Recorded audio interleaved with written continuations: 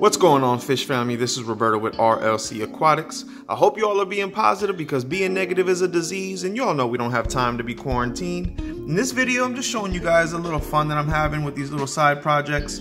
Uh, this is technically, I wouldn't even call it a project, it's something I'm having fun with. Uh, I guess we can call this life in a jar.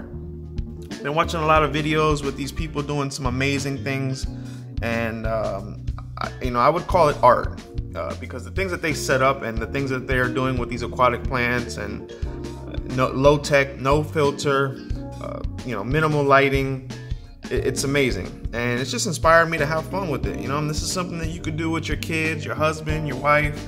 And it's, you know, it's a nice little centerpiece in the house. If you have some good lighting and you can put it somewhere in the house and I think these things are just beautiful. I'm, I'm getting into the aquatic plants. I'm not a professional. I have no idea what I'm doing when it comes to the aquatic plants. So if you have any idea what this plant is, please comment below.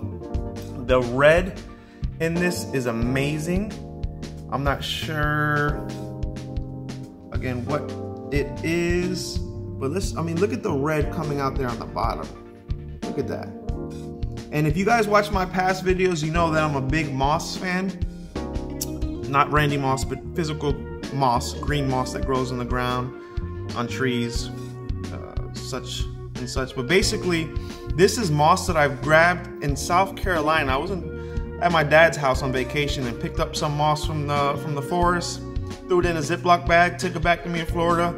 I didn't know how well it was gonna do submerged, but I mean, as you can see, it's not having any problems at all. So, you know, piggyback off me. If you guys have any moss in the area, pick it up put it in, in, in your tanks. I'm not necessarily, you know, want to put it in with any uh, fish that you may want to survive because, you know, I'm not going to be responsible for that. But, you know, just experiment. You know, this is what this hobby's about. And I'm just having a lot of fun doing things like this. So I'm not sure if you all watched the video with Aquarium Co-op.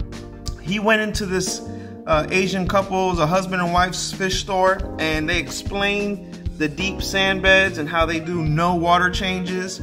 And I just piggybacked off that. And let me tell you, I've been, I've been implementing it in my fish tanks. It, it works, you know, it works.